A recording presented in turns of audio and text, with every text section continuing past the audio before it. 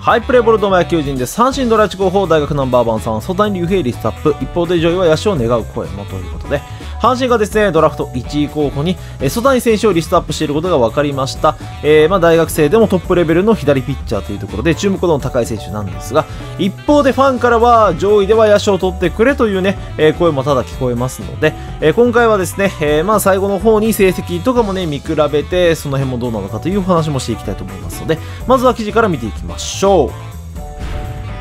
い、阪神ドラ1候補に白鴎大曽谷をリストアップ。阪神が今週ドラフト1位候補として白鴎大曽谷投手をリストアップ。していることがよく分かった12球団屈指の投手力にさらなる磨きをかけるべく甲府も即戦力左腕が補強ポイント。そのヒット候補として 1m83cm、79キロとスケールが大きい、最速151キロの大型スリークォーター左腕に白羽の矢を立てたということですね。阪神にとっては左腕は積年の補強ポイント、えー、昨年の秋のドラフトでも2位鈴木、3位桐敷、育成1位伊藤と3投手指名したがまだ必要。球団関係者も投手は毎年一定数取らないといけないもちろん左は補強ポイントと話した。えー、ヒット候補に上がるのが白鴎大の曽谷というところで、えーとまあ、スリークォーター気味のですね腕の位置から投じる151キロの直球は威力十分切れ味鋭いスライダー打者のタイミングを外すチェンジアップと空振りを奪える変化球も操る。制球面はややアバウトながら抜群の球威で打者をねじ伏せる投球が持ち味ということでございます。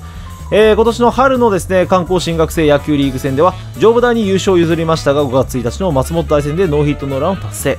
今月8日からオランダで開催されるハーレムベースボールウィークに出場する大学日本代表選考合宿でも6月20日の紅白戦に登板2回無失点。最速151キロのパフォーマンスを発揮し代表に選ばれた。阪神はリーグ戦代表選考合宿といずれもですね、えー、畑山、天統括ら複数のスカウトが、足を運んで目を光らせており先発タイプの即戦力左腕への注目度は高いと。6月28日のスカウト会議でも主にですね大学生候補について話し合い、えー、絞り込み作業を進めた模様と。阪神は先発左腕の柱として期待している高橋が4月下旬にトミー・ジョン手術を受け来季についても目処が立たない状況。また桐敷鈴木及川らも確固たる一軍の戦力には至っていない。先発ローテーション左腕は伊藤正史ただ1人で救援陣にもですね左腕の駒が少ない。ドラフトで最低1人は補強しておきたいところと。あと左腕ではですね他にも日体大の矢沢日本通の高野、え、京都国際の森下らをリストアップしている模様東証国形成調査を進めるということでございます。はい、まあ、曽谷選手リストアップと、うん、左腕っていうのはね、やっぱ少ないなっていうところはあるので、えー、候補に上がってくるんですけれども。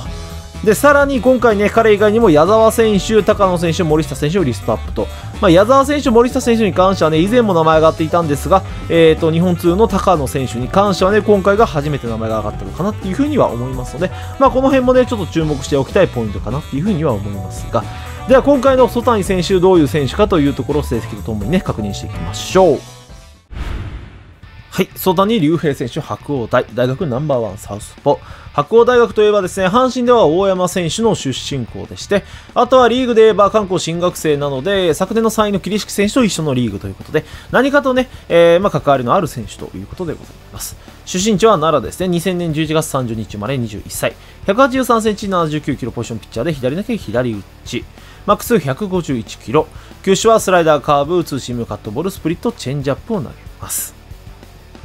明桜高校では主に控え投手としてプレーし、甲子園も経験。卒業後は現在の白鴎大学に進学1年秋からベンチ入りすると3年春に先発して4勝マークし、対等。さらに同年秋にも同じく4勝マークし、防御率0.24と圧倒的な投球を見せ、投手5冠を総なめ。そして今年の4年春には松本大学戦でノーヒットノーランを達成。ドラフト1位候補と呼ばれるまでに成長を果たしたということでございます。須谷選手に関してはですね、えー、まあ、明桜高校、今はノースアジア大明桜かな、えー、時代は控えピッチャーだったんですね。ただ大学に入ってどんどん進化していって、まあ、ノーヒットノーラン日本代表にもね、選ばれる選手までね、成長したというところになっております。で、成績見ていくと、えー、今年の春はですね、7試合で3勝1敗46.02、防御率1.57、フィップ0.63奪三振率10.76、四死球率2.35という成績です。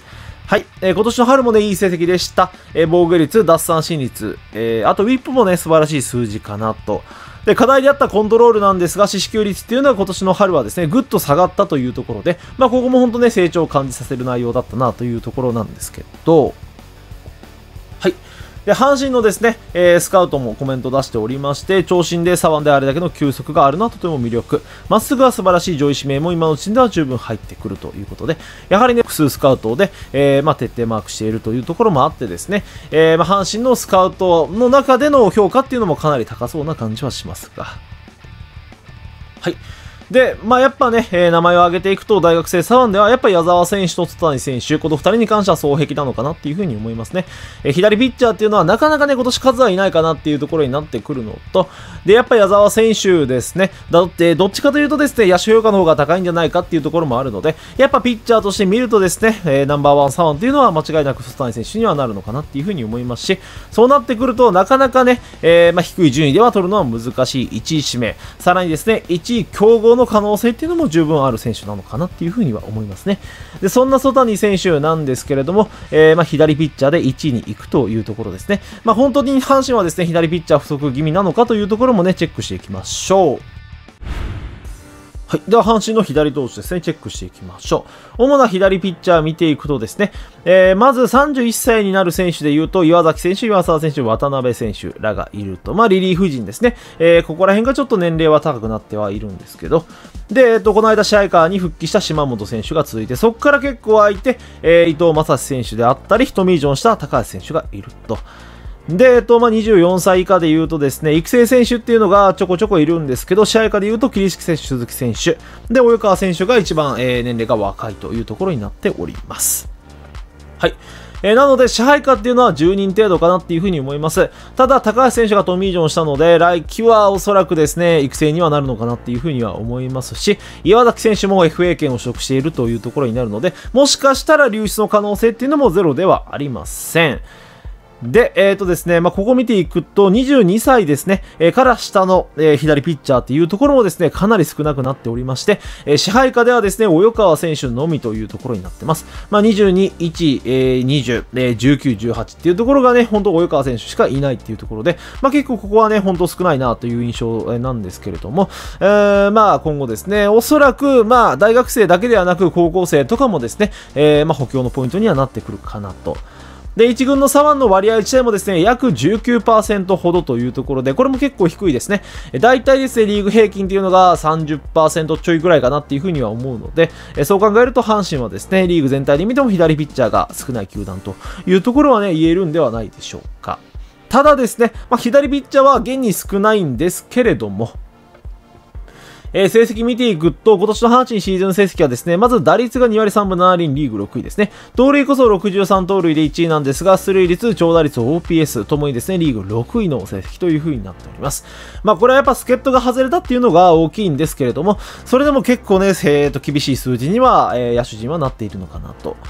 対するピッチャーはですね、すごいですね。防御率、先発防御率、えー、救援防御率、ウィップ、吉球率、KBB、フィップがですね、1位というところになっております。やっぱね、甲子園っていうところで投手有利っていうのはあるんですけど、そこを踏まえてもですね、かなりすごい数字にはなっているんではないでしょうか。えー、特に吉球率ですよね。これが2.14ということで、ダントツで1位。まあ、ほんとね、ファーボールが少ないのが阪神のですね、ピッチャー陣の特徴でございます。で、フィップもね、非常にいい数字っていうのが出ておりますので、甲子園を、えー、差し引いてもですね、やっぱ今の阪神の強みっていうのは間違いなく投手陣にあるのかなっていうふうには感じますね。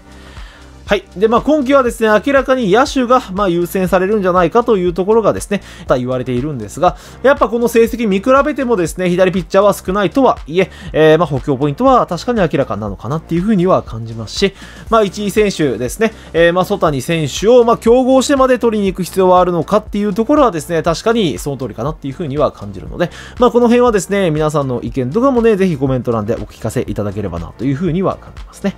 はい。では今日は以上です。えー、最後にネットへの反応も見て終わりましょう。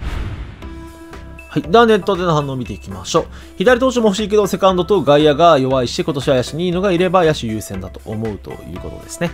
はい。うん、まあやっぱね、左ピッチャー、さっき見た通り、岩崎選手の FA の可能性だったり、えー、高橋選手とミージョンであったりとですね、左ピッチャー自体も少ないですし、どうなるんだろうっていうところもあるんですけど、ただ一方でやっぱセカンド、外野っていうところをね、積極的に補強したいっていうところも事実なので、うーん、まあ確かにいい選手がいればね、野手優先かなっていうふうには思いますね、1位は。ただですね、まあ重要なのが、いい選手がいればというところなんですよね。ここがどうなのかと。阪神が欲しい選手といえばやっぱ甲子園なので、右の大砲候補ですよね。えー、そこをね、しっかりと補強していきたいと。ただ、そこがいるかと言われれば、正直どうなんだろうっていうところがね、えー、まあ今の現状でして、山田健太選手ね、よく言われるんですけど、やっぱ長打力は寂しいものがありますし、セカンド候補として見るのはね、厳しいんじゃないかなっていうふうに思いますので、そうなればやっぱサードっていうところで言うと、まあ大山選手であったり佐藤輝明選手と、えー、まああとは糸原選手もね、いるっていうところで、まあ肩にはなってくるんですよね。で、外野で言うとですね、右バッターで言うと森下選手がいるんですけど、ただ彼に関してもデッドボールを受けて全治3ヶ月、ドラフト1位で取るのはちょっとリスキーな感じもしてきましたので、そういうところで言うとね、うん、まあ右バッターでいい選手がいるかと言われれば微妙なところでもなります。まあそうなれば左バッターね、蛭間選手とか、まああとは野手として矢沢選手とかね、えー、そっちになってくるのかなっていうふうには思うんですけれども、まあどうなのかというところですよね。まあここ本当難しいところでして、ここからね、追い上げていく選手もいるでしょうし、えーえー、まあ、高校生では浅野選手、内藤選手とかが候補にも入ってくるので、まあ、その辺もね、候補には入ってくるんですが、えー、まあ、本当悩ましいところかなというところではないでしょうか。はい。一方こちらですね、ソタに1位で行って他は全部野手行こうというところですね。まあこれは全然ありかなっていうふうに思いますね。えっ、ー、と、まあ左ピッチャーで言うとですね、やっぱ今年に関しては、ソタニ選手がちょっと抜けた存在にはなってきてるんですよね。えー、それ以外はちょっと微妙な、えー、感じにもなってきておりますので、そういうところを考えると、まあ1位をね、ソタニ選手キープしていって、まああとは野手ね、いい選手っていうのが、まあちょこちょこやっぱいるんですよね。2位、3位ラインで取れそうな選手っていうところで、え、まあ二遊間もそうですし、まあ外野もそうですし、えー、まあいるので、そういうところ考えるとですね、まあ、こういうね、えドラフトになっても、ね、悪くはないんじゃないかなっていうふうに思います。ただ、曽谷選手1位で取れなかった時ですよね。えここが結構厳しくなってきまして、じゃあ他にですね、外れで誰が残っているんだっていう風になれば、うーん、まあまあ、いろいろドラフトっていうのもですね、そんな立てにくくなるので、まあ、曽谷選手が単独でいきそうなら、まあ、ありな作戦かなっていうふうには思うんですが、まあ、競合なら、えー、まあ、そうですね、見極めていった方がいいのかなっていうふうにも思いますし、うん、なかなかね、ここも難しいところかなというふうには思いますが。はい、というわけで今日は以上ですね。よければチャンネル登録、高評価などもいただければ嬉しいです。野球人でございました。せーのゲームセット。ありがとうございました。